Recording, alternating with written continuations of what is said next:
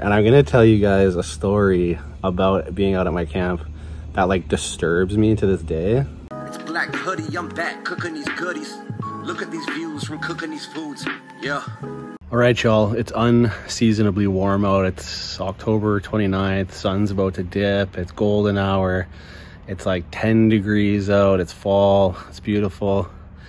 And uh, I wanna have a little fire campfire action. We're doing dogs on the skewers, a little mustard, a little ketchup, no buns as you can see because our calorie conscious carbs consumption is coming from, we're gonna have two s'mores for dessert uh, and a couple pieces of this Jersey milk, a couple marshmallows, four pieces of graham cracker. We're gonna light this baby up from this and a crazy extension cord that is needs to be untangled, wrapped, and put away for the season. We're gonna fire this up, chill, and talk about the good old days when the living was easy as a kid. No stresses, no bills, none of this adult shit.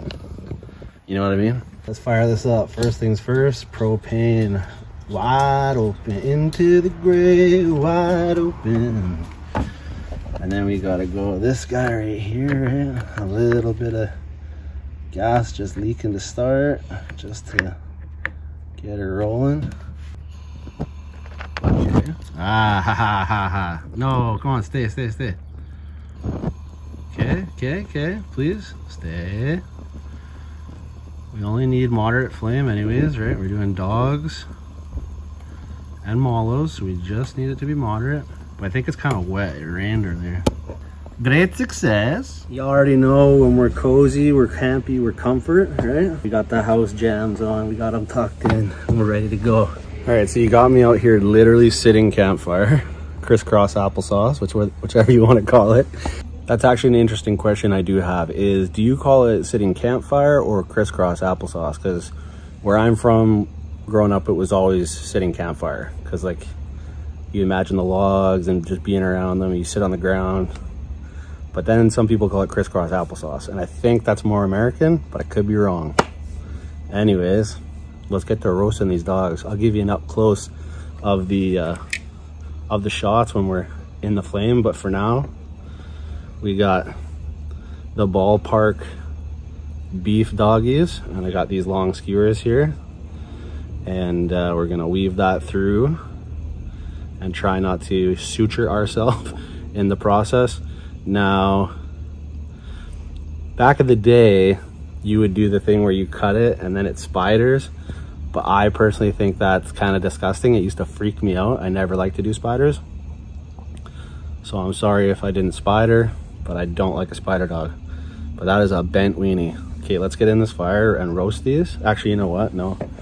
Preparation is key. Let's do both before we get in the fire and then we'll get in the fire. And i'm gonna tell you guys a story about being out at my camp that like disturbs me to this day. Just activities i partook in that make me feel like kind of weird and guilty but it's very like evil but being that we're around halloween i guess uh suitable fitting. But some of you are gonna be like oh man that's disappointing. I'm disappointed in myself. But anyways let's get in the fire because we got two dog a ah, ah, ah.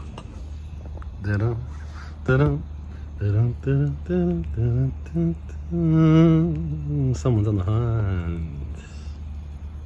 All right, y'all, I got you situated in these flames.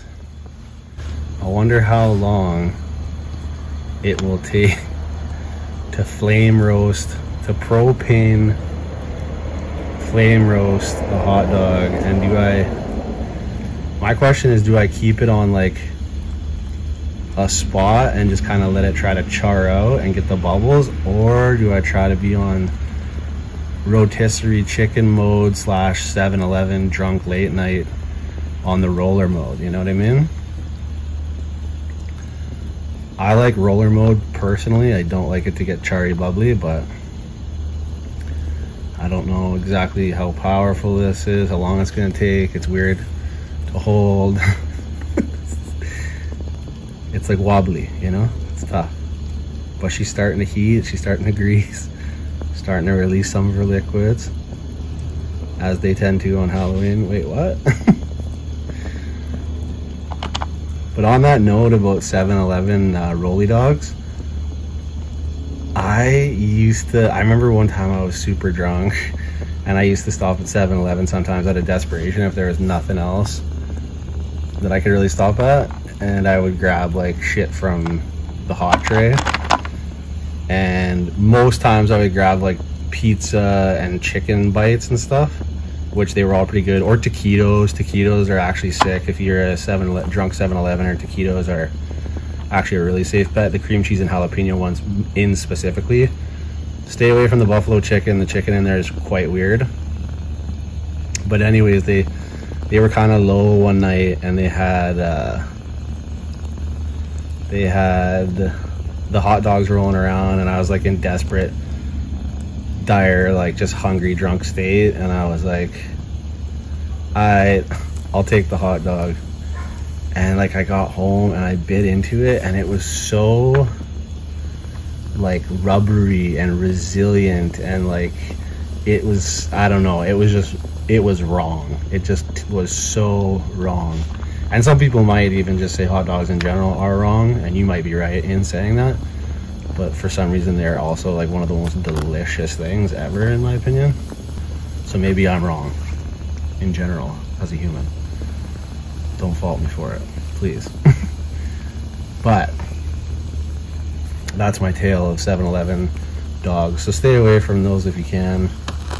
Maybe I got a bad one. Maybe I got a bad batch. I don't know. Uh, save it. Oh, there we go. The grease is on release. Where are we at here? See, near this end though isn't getting any any love. It's too close to the stick. Okay, let's give you an up close see where we're at. Definitely getting some char, some maybe some rock transference as well, as well, whatever's on these rocks. But whatever, whatever, you know, bacteria and eating random shit will make you stronger, right? Oh, That's how we have to look at it. What else was I gonna say? Oh, I wonder how, I wonder how the propane will affect the flavor on this.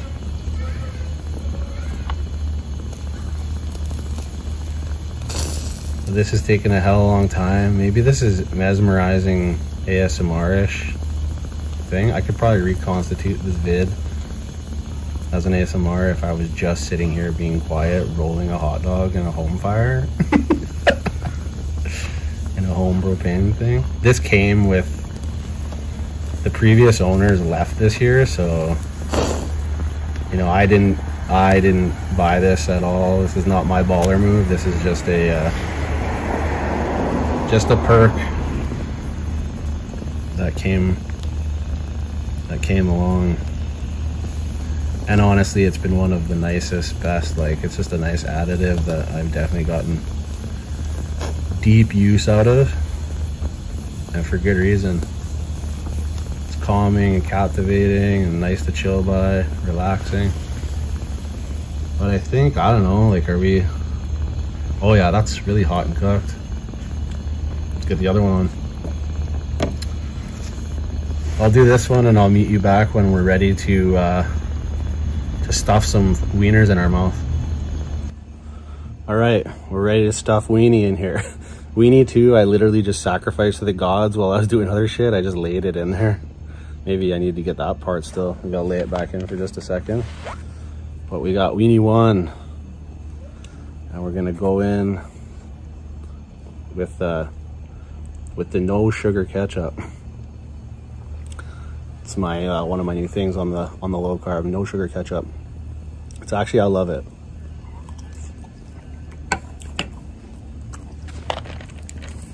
It's certainly more uh, more tangy of a ketchup. You can tell that there's less sweetness. Mm. But uh, when you're trying to eliminate the sugars as much as you can.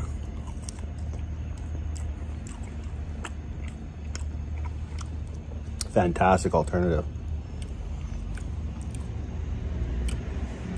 Why is this so good? It that the propane.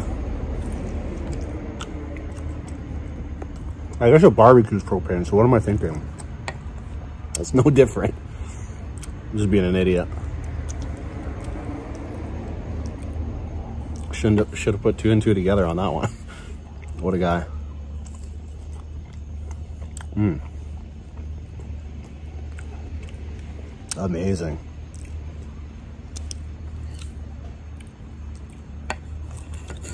Don't even need a bun. So let me know, did you guys used to make spider dogs? Try a little musty.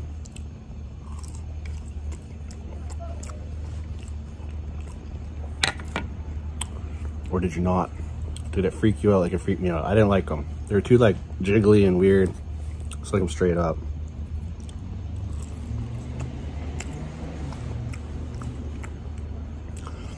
Always interesting to consider like how different the flavor of a hot dog is like in a campfire on a on a barbecue in a pan. And so it, it just varies. Makes the flavor vary a lot but then it also ties you to the memory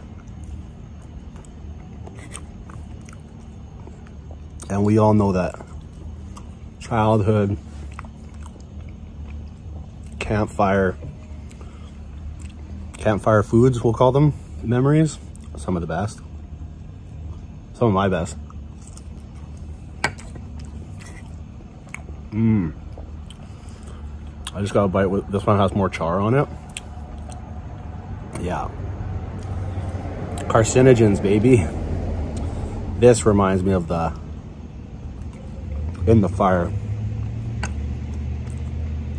the campfire. But yeah, back in my day, like past nights, like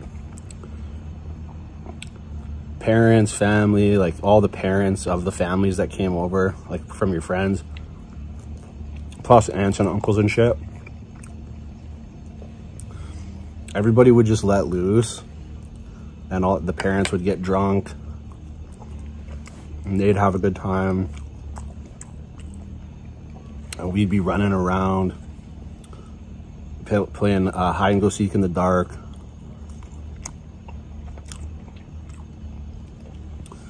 Uh, take flashlights and go in the water and flip rocks and try to catch crayfish.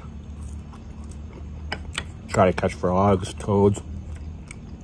That's where my story leads at the end of this, but we'll save that for the uh, for our dessert.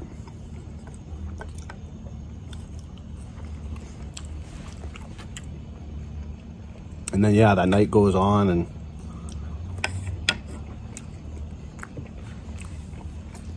it gets kind of late. The parents are kind of like they're winding down maybe inside now a bit or, or by the fire.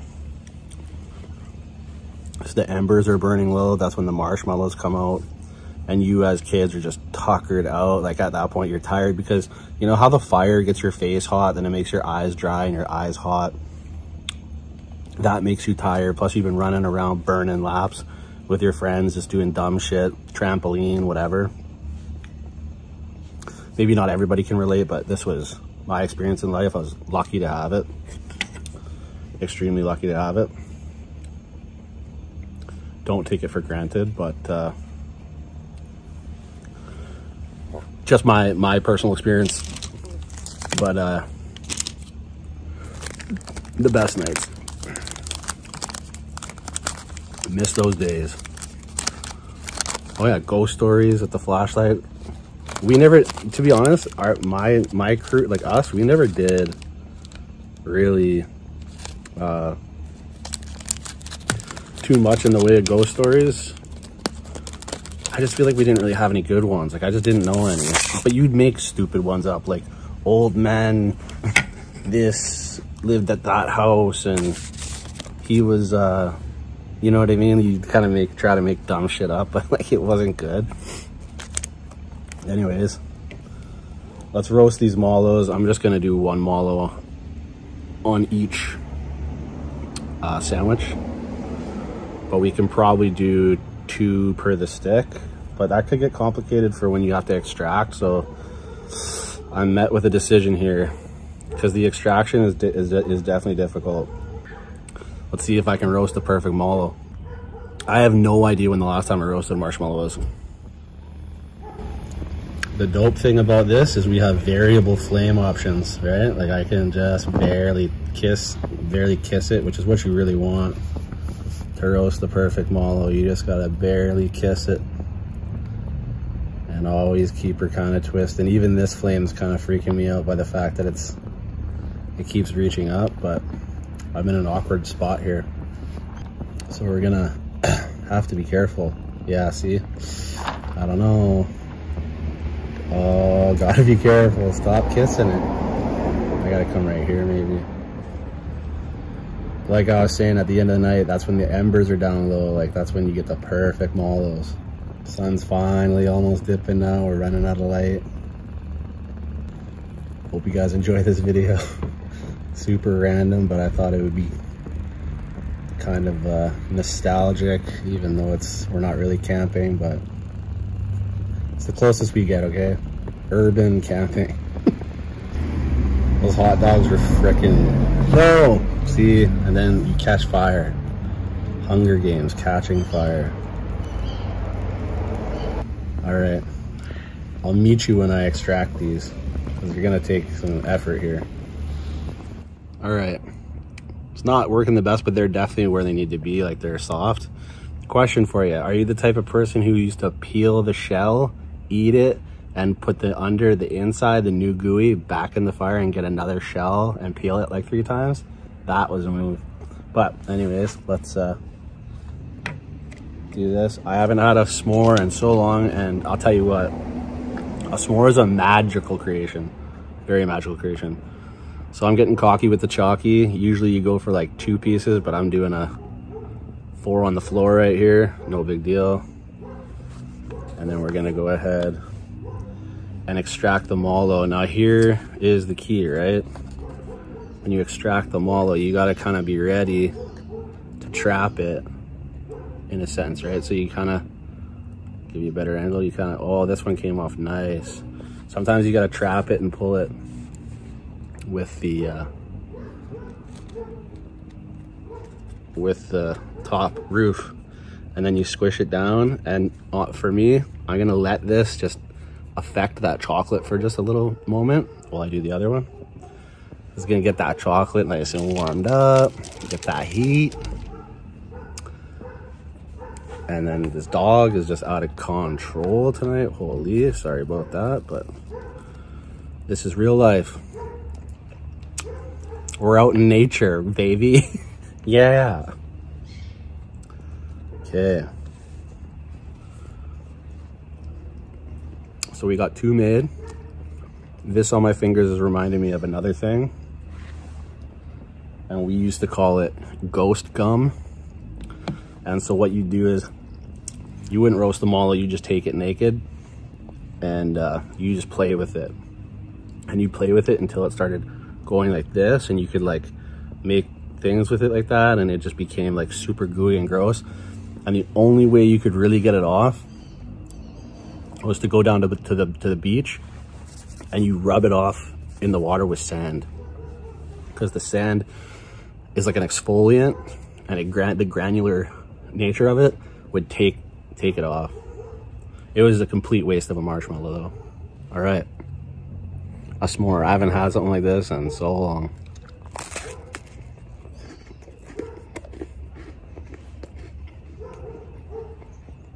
Mm-hmm. Incredible. And for me, it's always a Jersey milk. Although a Cadbury would be probably good in here too. But I love Jersey milk. That's stupid good.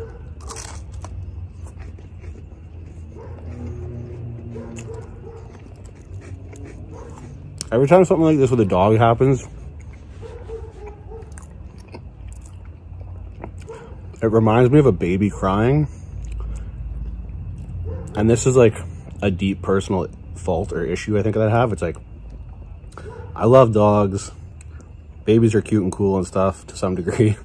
But like as soon as something like this, like crying or some incessant barking, it just, it cuts to the very core of the worst person inside of me.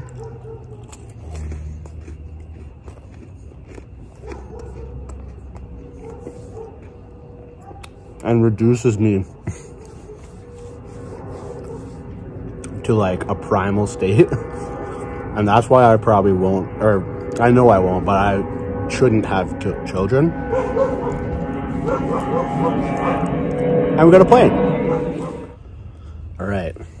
I'll try to tell you the story in a very fast way because we're contending with a dog. It really isn't that long anyways.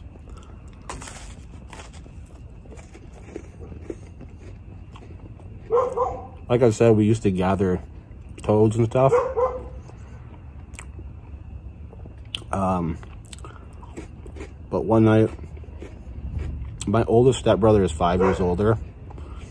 And you know how when you're the younger, the youngest, you want to hang out with like your oldest, the cool people. He was having friends over and uh, they were gonna have like a, their own like private like teenage bonfire. And my other stepbrothers were up with their dad for like a week. But my oldest stepbrother came with his friends to have their own private bonfire. But I, of course, was there and I wanted to get in on the action. So they let me in, they let me hang out with them for the night. So I was like, yes, score. Like, I get to be with the cool older guys.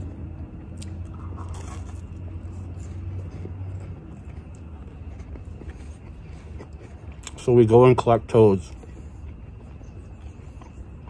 And they round up all his toads in a bucket. We go back to the fire. And one of his buddies pulls out a grip of bottle rockets. Bottle rockets are these little firecrackers things with a stem. It's a firework essentially, but a little one. And they were like, they had this sinister plan to put bottle rockets in the mouths of the toads, light them up, and see what happens. And then they had a they had a Roman candle as well. That was going to be the final. The biggest toad that they found, they were going to shove the Roman candle. this sounds so morbid right now. I was young. I was I didn't have any choice. They were doing it. I was like 10. So they had a king, like the, the big one, and they were saving for the Roman candle.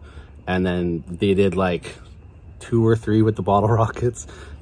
I just watched because like I didn't want to like I wasn't allowed to like play with fireworks and toads. Like I wasn't, I wasn't opening a toad's mouth at 10 being like, uh, know what I mean? Anyways, they were being weird uh, teenage boys with a sinister plan to blow up toads. And so they blew up a few toads. And then of course we had the finale toad, the big boy toad with the, uh, the Roman candle and uh, whatever, whatever. Next day I go back to look around the fire pit. Because in my head I'm like, is there going to be toad guts and remains and stuff here? And sure enough, I can see like little organs lying around and shit. And soon after, like within, I felt, I started to feel guilty about it. I was like, I was really fucked up. And uh, ever since that incident, I can never forget that memory of that. Because I always still think to myself, like, that was a little mess. Completely unnecessary. That's, you know what I mean? Like, it was literally just like cruel entertainment and uh, it's never sat well with me. But uh, I guess I tell you that story to tell you kind of a, a, morbid, cruel, gross story, but something that stuck with me and uh, like I knew it wasn't cool. So I still know it's not cool. So basically, but that's the thing. When you're young and you're growing up, you just don't know any better. You're so you're just so not developed especially even with when these what these guys were like 14 15 or whatever you're still so in such a younger mind state you just don't get you don't have that perspective yet most usually also boys men our nature is to be kind of like diminutive and destructive so i think that plays into it and then at the time there's shit on tv like cky and all that stuff like the like bam margera and that like influences you too. You're like, oh, like they they do this dumb shit, so let's let's do some dumb shit. So, but easily influenced when you're young is what I'm trying to say. But we're all done here. One meal for the day. Already hit 6k on the on the jog today. And I ate super light last night, just a salad. Um, couple dogs. I think that's 300 calories for the wieners, and then the uh, the snack, the the dessert is probably what's two marshmallows, couple pieces of chocolate, and a couple graham crackers. Probably another couple hundred. So I'm probably clocking in at like six, seven hundred calories, and I already burned off. I don't know, at least probably anywhere between three and 400 just from my, my jogging and running. But I've also been on my feet cruising around doing shit all day too. So we're keeping it tight. We're keeping it right. Trying to keep moving down the slender chain. I don't mind having a seemingly not so healthy meal, but when you consider calories in, calories out at a certain point, that's just what it comes down to. It's how much you moving, how much you burning, and then how much you putting in your body. And also I'm on deep intermittent fasting, right? And like very disciplined with it. I don't, I don't stray. I just have coffee and water through the day, and in my coffee, no sweet, like no real sugar, uh, a splash of almond milk. There's like hardly any calories. It's like, it's like 10 calories for a cup. Now maybe a little more, maybe 20. But anyways, we're on our mission, we're on our goals, we're keeping going, and I thought this would be a fun little adventure to to treat uh, to treat us to some urban campfiring. All right. So, hope you enjoyed it. Till the next one, you know what to do. Eat good, live well. Stay true. Also, if you want to help out the channel, link down below in the description. No pressure. Love you if you do. Till the next one, you know what to do. Eat good, live well. Stay true. If you like this content, please like, comment, and subscribe, as well as check out my pinned comment down below to find other ways to support this channel. Thank you for watching. Eat good, live well, and stay true.